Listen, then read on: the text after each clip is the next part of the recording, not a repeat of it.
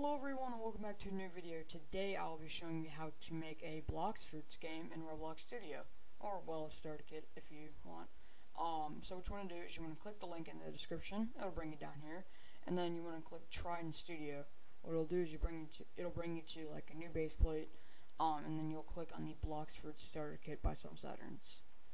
Um, it'll bring you to this. Uh, if you're like all the way out here, uh, hold the control button or uh, sorry, hold the Alt button and then uh, left click and then press F. That'll uh, bring in on something. So, anyways, uh, you want to check this out. So scroll up, make sure you can see what I'm seeing right now, and then go to the Blox Starter Kit, ungroup, and then you'll see different little things that match up down here.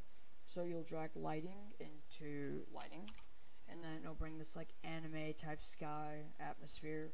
Um, and then you'll drag starter pack all the way down to here Control U, and then you'll ungroup all of these. These are the tools that you'll have. Um, you can place these in Workspace if you just want to pick them up manually, um, and then obviously in Workspace. You bring it in there, and then you um, ungroup it. So if we were to hit play, uh, you'll also see in Starter Pack there's a like a like a kind of like a swoop. Yeah, here we go. A swoop animation. It's got to be R6 for it to work though. So as you can see, there's different pets and stuff. You can get this one. Or sorry, not pets. Sorry, I'm thinking of uh, Adopt Me. Uh, different fruits or what whatnot. And then there's the box. And then here's a map. I only put one map in because it was like pretty pretty hard to make. Uh, so if we were to go up here, I think yeah, okay, that's not Can Collide, but if um you go up here, you can see the uh nice kind of like like scenery.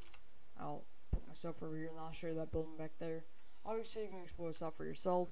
This is a starter kit. It's not the actual game. This is to help you get like a little bit of a boost. Although, if you guys do want to see like maybe a part two, or if you uh, want more uh, like models or whatnot, um, just put it down in the, uh, the comments. So you got a back door right here, and then you got a huge open space for anything you want to put in here. Um, if you want to change it up a little bit, that's fine, by all means. Um, so, like, maybe the pathway, kind of. But uh, I think if you make the game R6, if you, like, uh, if you create this as an actual game and hit save, and then you go down to, like, Avatar or whatever, and you click R6, this, uh, the walking animation should work. Yeah, because it's, okay, so, yeah, it, never mind, it's the wrong thing, so, um, yeah, hope you guys enjoyed this video. Uh, if you have any feedback or if it's something's not working, just let me know, and uh, I'll check it out. Alright, guys, have fun with this. Bye-bye.